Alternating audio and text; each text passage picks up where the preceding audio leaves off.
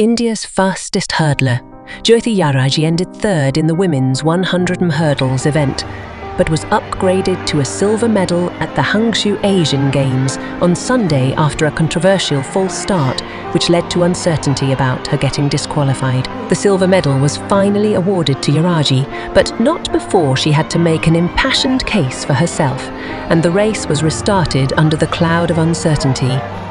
What had led to the drama was that the race saw a false start by home favourite Yanni Wu, and India's Yarraji appeared to be reacting to the Chinese hurdler's cue. Whistles initially told both runners that had been disqualified for false start.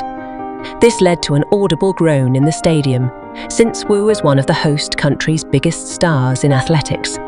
Yarraji and Wu both stood their ground and protested with the officials who looked at the TV monitors alongside the track to see what had happened.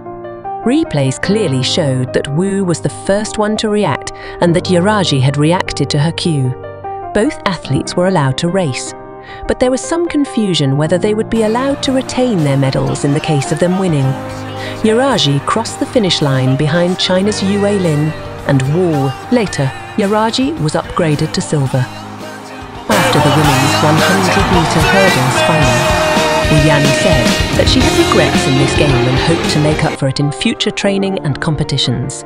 Looking forward to the Paris Olympics, she said she hopes she can show China's speed, Chinese magnanimity, Chinese demeanour and Chinese strength at the Olympics. I hope that I will get better and better, and I also believe that China's track and field will get better and better.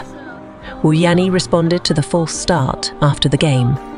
She was unable to hold on due to the influence of the opponent next to her. I couldn't hold on due to the influence of the opponent next to me.